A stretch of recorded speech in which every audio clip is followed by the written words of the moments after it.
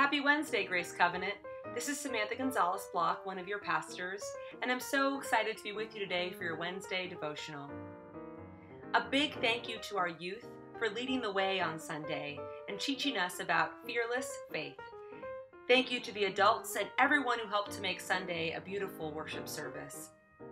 On Sunday, our youth invited us during the affirmation of faith to pick a number, and that number corresponded with an action, something that we could do out in the world to care for God's creation, for our neighbors, or for ourselves.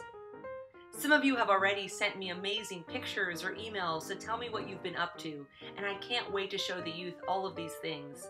Today, for our devotional, I invite you to pick a number either for the first time or pick a new number and see what action corresponds with that number. I can't wait to hear about and see all of the things that we are doing as a community to show our faith and live our faith during this time. So, pick a number, 1 through 7. You got it?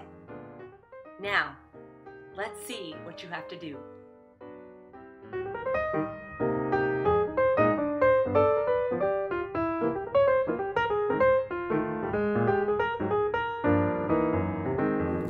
Number 1. Write a letter to someone in need of a friend, or keep a journal to express how you're feeling these days. Number 2. Support a community project, like working in the garden, or volunteering at Manna, or for the beloved community. Number number 3. Find a passage in the Bible that really speaks to you. Hmm. And then share it with someone else. Number four, donate to one of your favorite nonprofits or buy something from a local business. Five, show a neighbor how much you care by delivering them a meal or by giving them a call. Number six, try to stay screen free for at least an hour.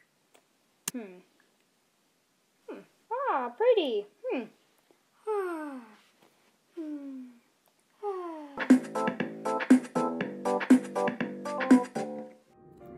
Number 7. Go outside for 30 minutes to enjoy God's beautiful creation. Find something to be grateful for.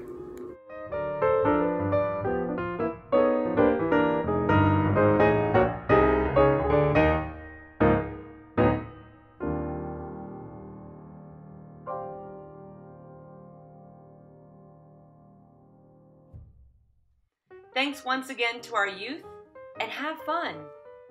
Have a wonderful Wednesday. I'm praying for you all.